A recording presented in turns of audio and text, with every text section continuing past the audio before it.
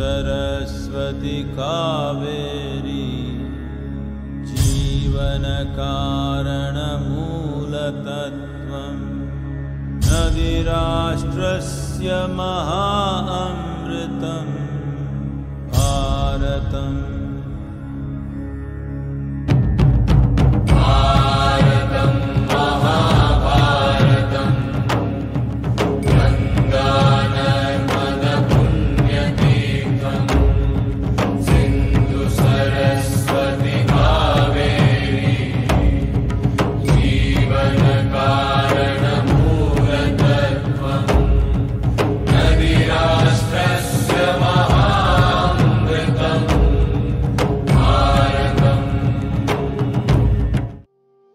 Trazer equilíbrio entre o Ida e o Pingala é uma parte muito importante de viver uma vida equilibrada. 40 minutos de cada vez, quatro vezes durante o dia, há uma certa transição acontecendo. Essas são chamadas de zonas do crepúsculo ou sandhyas, porque nesse período o equilíbrio entre o Ida e o Pingala muda muito rapidamente.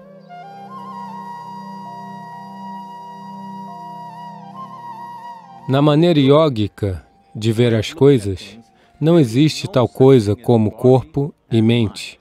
Existe corpo físico, existe corpo mental, existe corpo energético.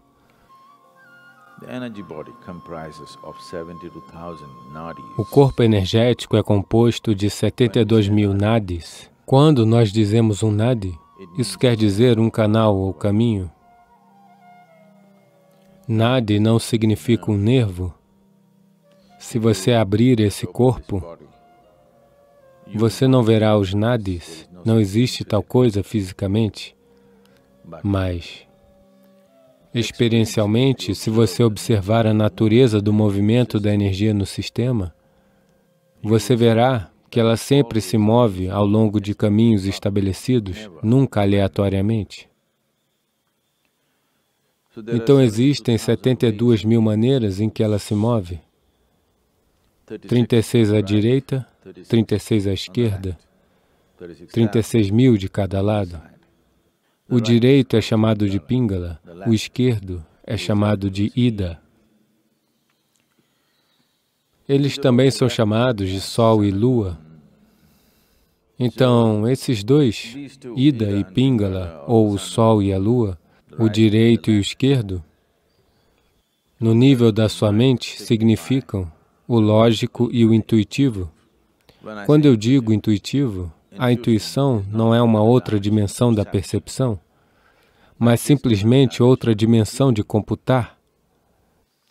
Se você tiver a mesma quantidade de informações dentro de você, se você seguir logicamente, talvez haja dez passos para se chegar a um lugar.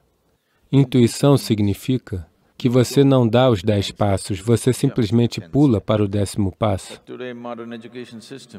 Mas hoje, com os sistemas modernos de educação, esmagando 100% a dimensão intuitiva, somente a lógica é desenvolvida. Qualquer coisa intuitiva é descartada como uma bobagem. Para tudo, você tem que refletir. O que suas avós simplesmente sabiam? Hoje você tem que fazer uma pesquisa de um bilhão de dólares para encontrar a mesma coisa. Quando você tem que refletir sobre tudo, e tudo parece ter múltiplos passos, agora a vida se torna estressante. Se alguém quiser ser bem-sucedido além de um certo ponto, Existem certas situações onde você deveria ser capaz de pular os passos e chegar lá. Ainda são as mesmas informações, ainda as mesmas coisas, só que você não precisa passar por tantos passos todas as vezes. Isso torna a vida muito estressante, porque é como se você estivesse dirigindo seu carro sobre duas rodas, as outras duas rodas sem uso e protegidas. Eu não sei quando serão usadas, mas as duas rodas que você está usando estarão sob uma enorme quantidade de estresse. Então, no sistema iógico, O significado da intuição é tão importante quanto a lógica. Portanto, manter o equilíbrio entre o Ida e o Pingala é uma parte muito importante de viver uma vida equilibrada. Ser capaz de se conduzir em situações complexas com tranquilidade só acontece quando a dimensão intuitiva da sua mente está suficientemente evoluída e desenvolvida. Caso contrário, pequenas coisas irão enlouquecer você, porque para tudo existem múltiplas etapas. Aqui nós iremos fazer algumas coisas para trazer um equilíbrio entre o Ida e o Pingala, para dar a você uma compreensão experiencial disso. Se você pegar seu dedo indicador, colocar ele abaixo de suas narinas e expirar suavemente, descubra em qual narina a respiração é dominante nesse momento.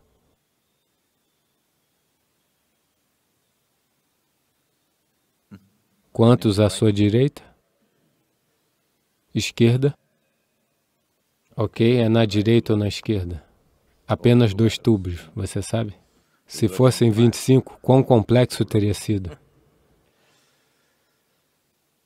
Se você se observar durante o dia, você perceberá que aproximadamente entre 40 a 48 minutos, o domínio da respiração muda da direita para a esquerda e da esquerda para a direita. Você já percebeu isso? Já percebeu? O porquê que isso acontece é que, dentro do sistema, o domínio de energia, ou prana, que é a força vital no sistema, está mudando do Pingala para o Ida e do Ida para o Pingala a cada 40 minutos.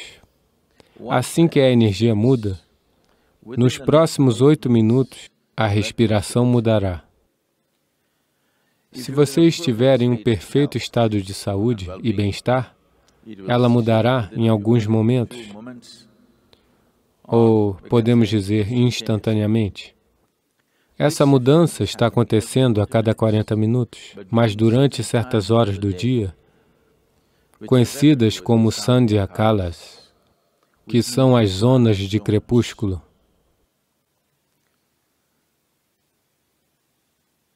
Vinte minutos antes do nascer do sol, vinte minutos depois do nascer do sol. Tudo bem, Sadhguru, diga-me se existem outros momentos.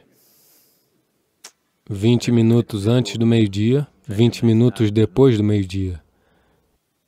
20 minutos antes do pôr do sol, 20 minutos depois do pôr do sol. 20 minutos antes da meia-noite e 20 minutos depois da meia-noite. 40 minutos de cada vez, quatro vezes durante o dia. Há uma certa transição acontecendo. Essas são chamadas de zonas do crepúsculo ou sandhyas, porque nesse período o equilíbrio entre o Ida e o Pingala muda muito rapidamente. Porque está mudando rapidamente dentro de você, é muito fácil conduzir elas para um equilíbrio nesses horários. Até certo ponto, em quase todos os lugares do mundo, qualquer processo ou prática espiritual significa manhã, fim da tarde. Sandhya se tornou sinônimo de prática espiritual. O horário se tornou sinônimo de muitas práticas. Portanto, trazer um equilíbrio entre o Ida e o Pingala é importante para um desenvolvimento equilibrado do ser humano. Você se sente verdadeiramente confortável somente quando você está em equilíbrio, de alguma forma? Quando existe algum tipo de desequilíbrio, existe um desconforto, não é? Sim? Quando você está experienciando qualquer tipo de desequilíbrio, existe um desconforto. Somente quando você atinge um certo equilíbrio, você se sente realmente confortável. Portanto, o conforto nunca é realmente determinado por aquilo no qual você está sentado ou pelo lugar onde você está. O conforto é determinado pelo quão equilibrado você está internamente.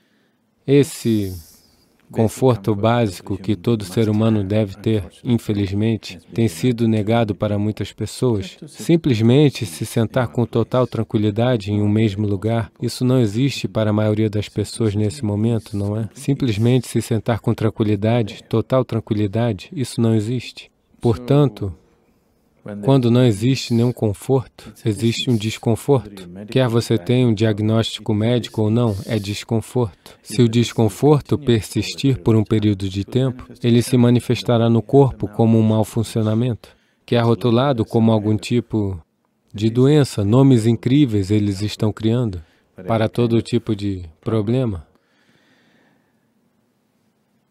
A razão fundamental pela qual o sistema não dura o seu prazo, ele é projetado para durar o seu prazo, mas ele não está durando o seu prazo porque nós estamos mantendo ele em vários níveis de desequilíbrio.